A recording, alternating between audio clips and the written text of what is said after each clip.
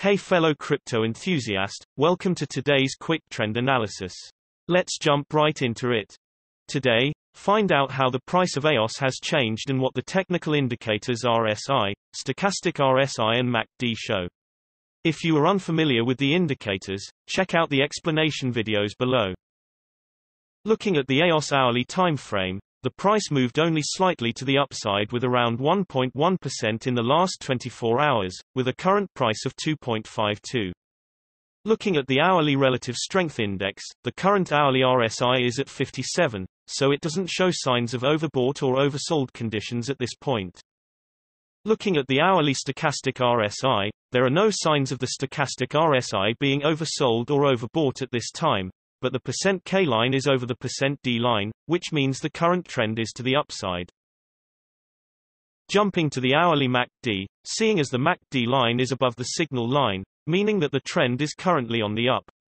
Looking at the MACD histogram, we can see that the momentum is strong at the moment and we can expect the price to continue growing or maybe at least remaining the same for some time. Looking at the 3-hourly relative strength index, the current 3-hourly RSI is at 55, so it doesn't show signs of overbought or oversold conditions at this point. Jumping to the 3-hourly stochastic RSI, both the percent %K and percent %D lines are currently very high, which means that the price is overbought and a trend change or at least consolidation for some time is to be expected.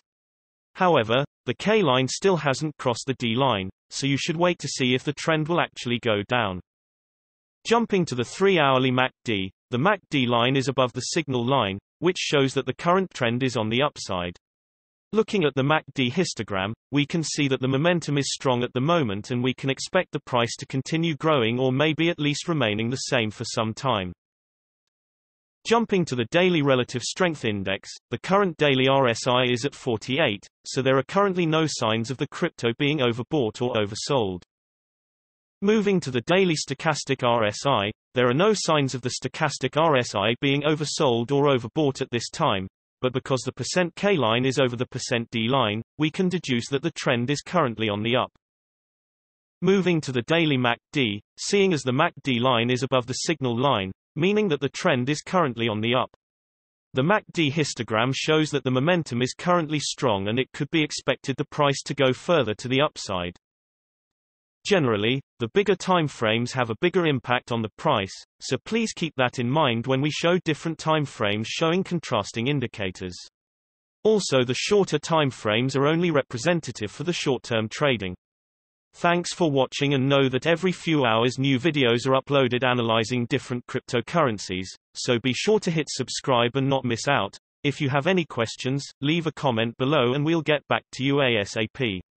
Also, keep in mind that you should make your own investment decisions as cryptocurrency trading is very risky and these daily videos are only an overview of trends and are a purely technical analysis without considering the fundamentals.